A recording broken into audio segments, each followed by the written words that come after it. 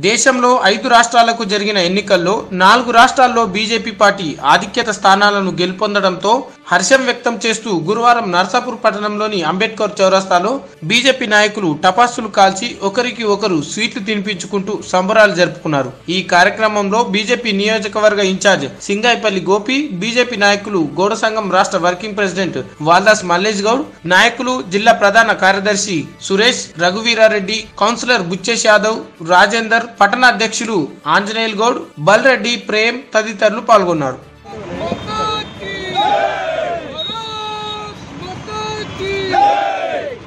నరేంద్ర మోడీ గారి నాయకత్వం. నరేంద్ర మోడీ గారి నాయకత్వం.